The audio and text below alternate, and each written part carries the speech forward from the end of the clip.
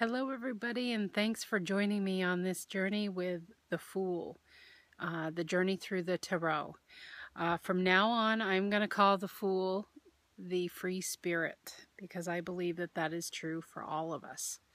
I really want to bring a new light to the traditional Tarot deck because I think there's an unreasonable amount of fear and uncertainty around that deck, and I just want to give you a fresh look at considering what those messages mean.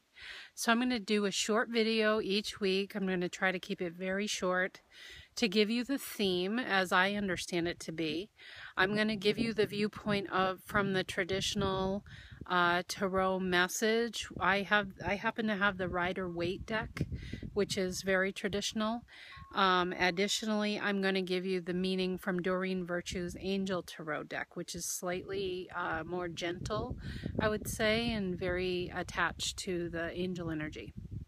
So we start out, we're going to do 22 weeks. We're going to focus on the major arcana cards, which is that journey message um, where the free spirit, as I call him, goes through different different parts of life as we all do.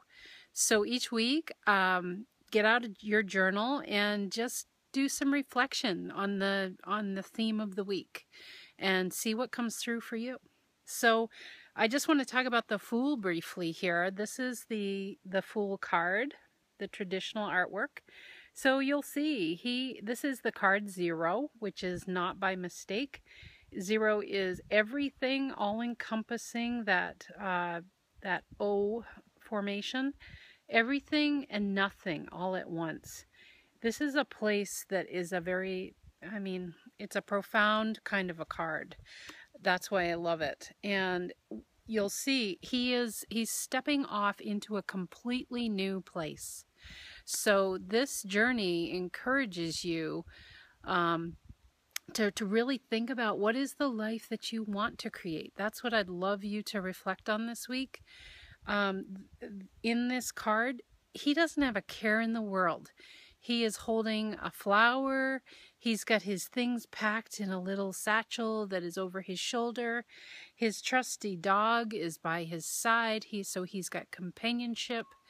He's just stepping right into it, and he has no fear. Um, the Doreen Virtue message is the dreamer. And here's the artwork so you can see that. The dog is in there too. Almost looks like he's stepping through a portal here. It's a brand new place. The message on the card says a leap of faith, follow your dreams, unexpected opportunities. So um, over the course of this week, and I'm doing this alongside you, think about how you can, at least over the next 22 weeks, um, how can you become that free spirit? How can you take on that energy of stepping into a completely new chapter in your life? And seeing each week we'll be facing a new gift, and they are gifts. Um, each week we're going to face a new one. So, what is it that you want to create over the next 22 weeks? And how do you want to see that play out in your life over the course of this coming week as well as the entire journey? So that gives you something to start with and uh, feel free again to look at the artwork that I provide at the start of this video and on this post.